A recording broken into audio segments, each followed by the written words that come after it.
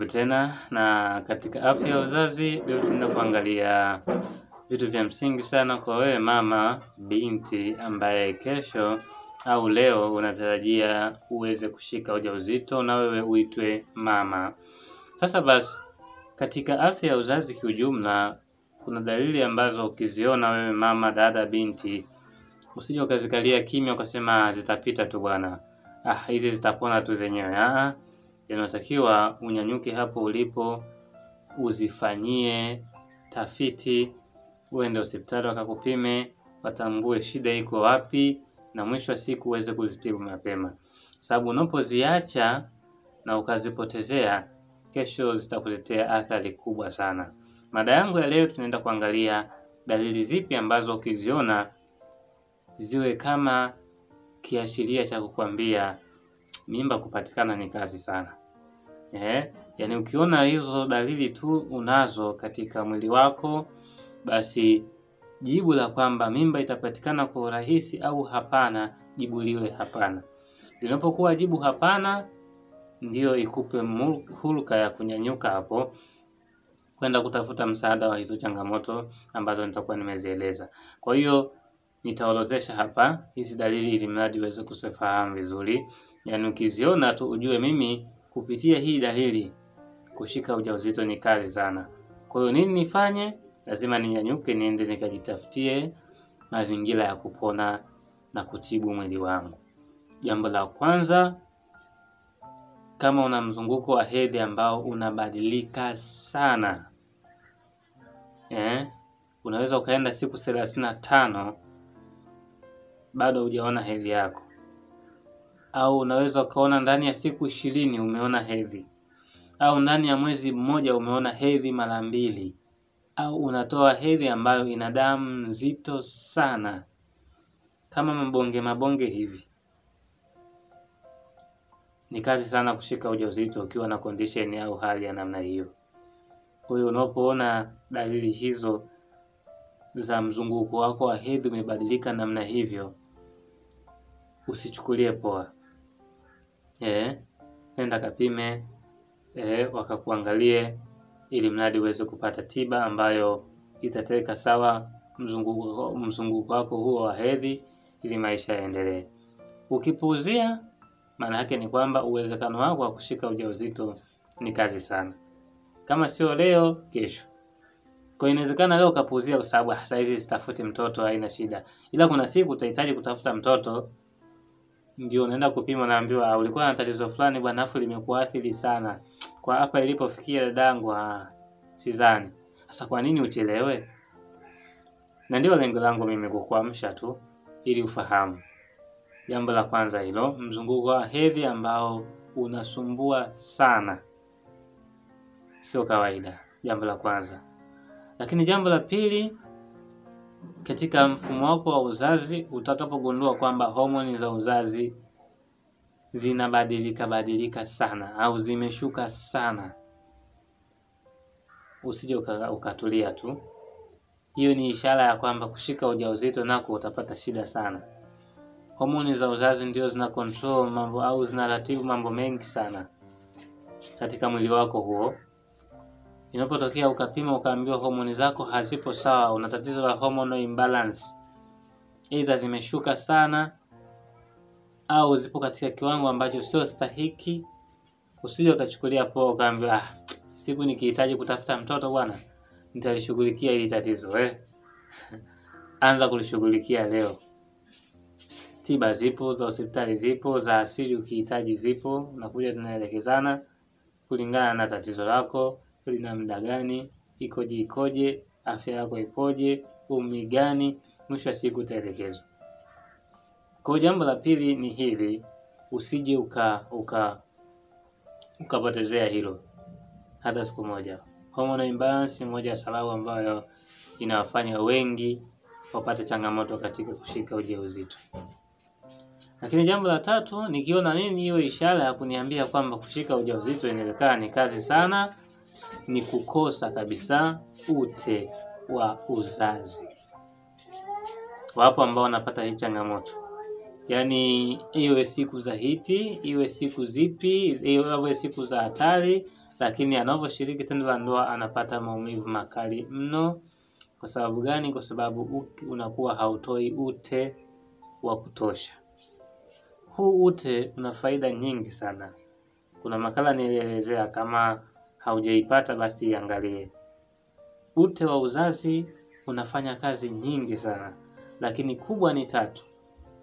Kazi ya kwanza inasaidia mbegu za kiume zisiweze kufa zinapoingia ukeni. Kwa nini? Kwa sababu uke ni una hali ya asidi, ya ntindikali Ukipima pH ya uke utakuta ni acidity, na mbegu za kiume zipo katika fomu ya bezi. Kwa kwa kawaida, kama kusingekuwa na ute, maana yake mbegu za kiume zikiingia pale ukeni zote zinakufa, na ndio maana kuna ule ute ambao unasaidia kufanya neutralization of the acid and basic medium. Sasa ikitokea ute huu hamna, maana yake ni kwamba mbegu za kiume zitafika pale ukeni, lakini zikifika pale zote zinakufa. Ndipo pale unaenda unapima magonjwa mengine, unaona mbona uko sawa, mwanamume yuko sawa, mnatafuta mtoto ampati. Ute wa uzazi, kazi ya kwanza. Kazi ya pili, inasaidia mbegu za kiume ziweze kusafiri vizuri kwenda kulitafuta yai lako mama, ili zikikutana tuweze kutengeneza mtoto. Kwa unapokosa ute wa uzazi, tambua kabisa movement of sperms from the vagina to the fallopian tubes inakuwa ni kazi sana. Eh, yani zile spam zako kumove kutembea kutoka pale ukeni kwenda kulitafuta yai lako wewe mama, itakuwa ni safari ndefu sana. Inawezekana siku ambayo zinafika nyingi zitakuwa zimekufa njiani, na zinazofika zinakuwa dhaifu, hazina uwezo wa kuzirutubisha yai ili uweze kupata mimba. Lakini kazi nyingine ya mwisho ni kuweka kupunguza msuguano ambao unaweza ukapatikana pale kama ute utakuwa mkavu wakati wa kushiriki lile tendo. Kwa hiyo ukiona hauna ute wa uzazi, usije ukalichukulia jambo la kawaida kwamba ni siku nikihitaji mtoto nitalifanyia kazi. Lifanyie kazi mapema, kwa sababu utakusababisha uchelewe sana kushika ujauzito sana sana sana, lakini ni tatizo ambalo linatibika eh, kwa vyakula tiba tu, vitu vingine sio hadi uende hospitali. Kwa vyakula tiba tu unaelekezwa, unatumia, maisha mengine yanaendelea. Kwa hiyo hiyo ni ishara ya tatu ya nikiiona tu basi nijue kushika ujauzito kwangu inaweza ikawa ni kazi sana, ni ute wa uzazi unapokosekana maeneo hayo. Lakini jambo la nne, dalili gani nikiona iniambie kwamba da, hapa kushika ujauzito ni kazi? Kutoa uchafu ambao unafanana na kamasi au kutoa uchafu ambao unafanana na usaha ukeni, na uchafu huu mara nyingi unakuwa na rangi aidha wa njano au rangi ya maziwa fulani ambayo imekoza sana na unaambatana na harufu mbaya.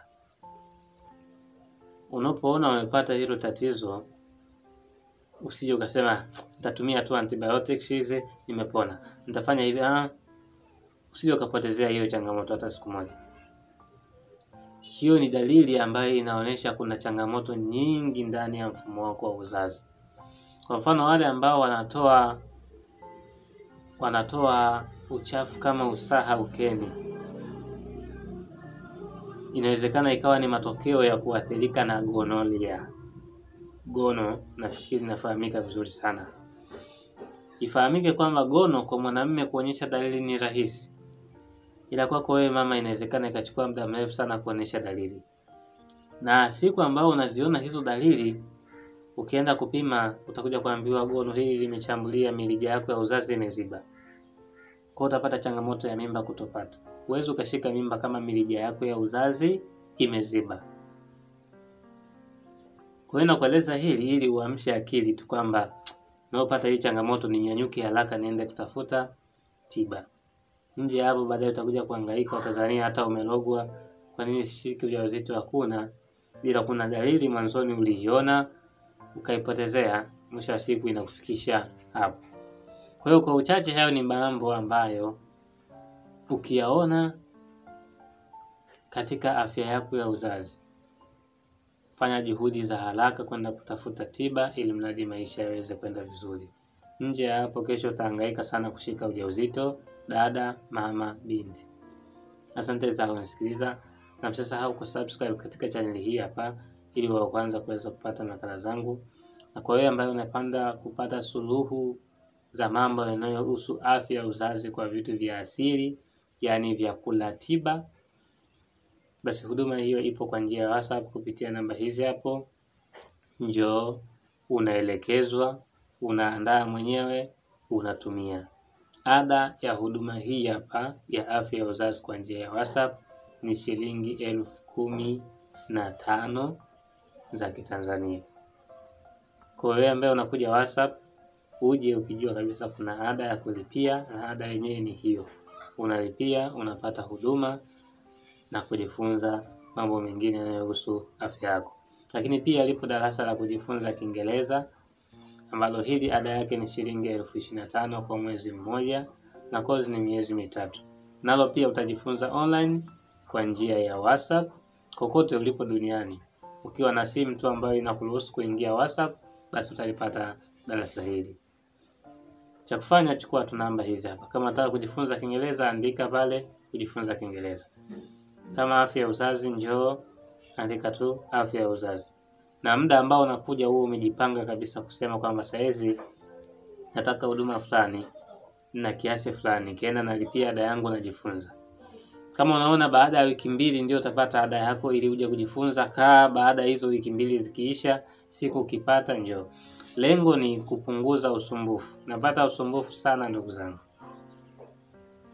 yaani kwa kawaida mimi kwa siku kuingia, yaani message ambazo zinaingia WhatsApp ni zaidi ya mia mbili.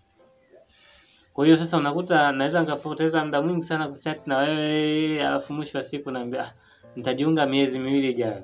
Basi subiria hiyo miezi miwili ijayo ikifika, njoo ili kuepusha usumbufu. Wale ambao wanahitaji huduma kwa muda huo ni wahudumie. Naomba sana sana sana katika hilo, unayekuja WhatsApp kupata huduma, njoo katika wakati ambao tayari umeshajiandaa, na siku zote ada huwa nazitaja hapa. Njoo ukiwa umejiandaa, unapata huduma yako. Kama mwezi wa kumi na mbili ndio unahitaji upate hiyo huduma, basi jipange siku, kipata hela mwezi huo wa kumi na mbili njoo nitakuhudumia, kwa lengo tu la kuondoa usumbufu ambao nimekuwa nikiupata siku zote. Asanteni na mwe na siku njema.